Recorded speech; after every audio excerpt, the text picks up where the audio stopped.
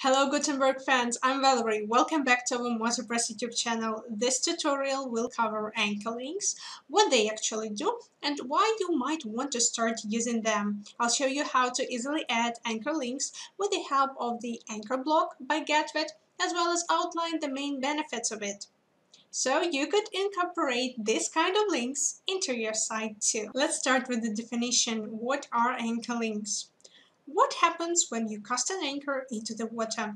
Right, the anchor holds the ship or boat in place. You still have the freedom to move a certain distance from the anchor point, but regardless of which way you go, you're restricted to a particular radius.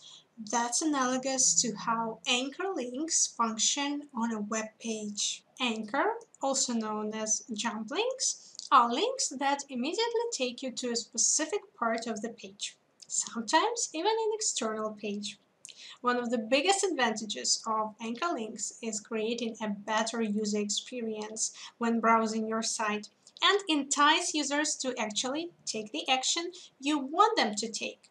They help organize the content on the website in a semantic manner, especially if the content is long. Scrolling down tons of information to find the needed section no longer needed. The users save their time. Furthermore, using anchor links correctly can even aid you in boosting your search engine optimization. So why Getwid?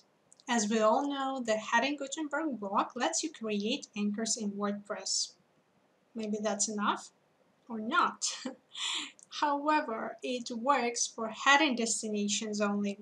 While the anchor block by Getwid adds extra functionality to the Gutenberg editor, allowing you to place anchors next to any content element.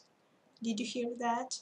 Any content element. Different blocks such as galleries, sliders, banners, and more not limiting you to just headings. Having said that, let's take a look at how to easily add anchors with the block of Getwid. You can install the plugin directly from the WordPress dashboard. Just go to Dashboard, Plugins, Add New and search for Getwid. Then just click on Install Now and activate the plugin. That's it, you're done.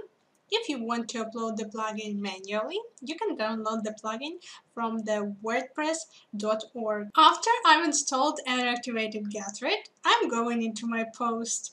I want the readers could book an event, not leaving this post. For this, I have already added the buttons and appointment form blocks.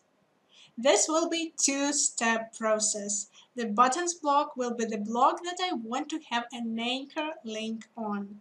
The target content will be the appointment wizard inserted with the appointment form block. First of all, you need to go to the target part where you want your visitors to jump after clicking. Click the plus icon and add the anchor block. Give it a unique name and copy it. Now I'll pick a button that will bring people to the anchor area. Click on the link icon. Type the tag and paste your unique anchor name. This will create a quick page jump to the area where we put the anchor block. Click the switch toggle if you want your link to be opened in the new tab. Now let's preview the page. You can link any text part in just the same way. Add the anchor block to the part where you need people to land after clicking on the text. Give it a unique name and just highlight the text area and add a link to your previously created anchor.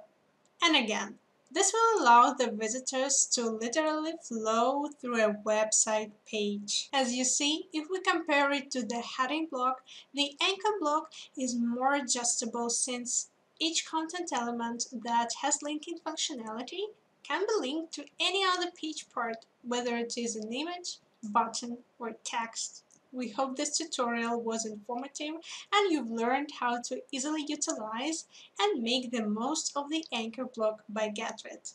Please like and subscribe to our YouTube channel and press the bell icon to get new video updates. See you in the next one.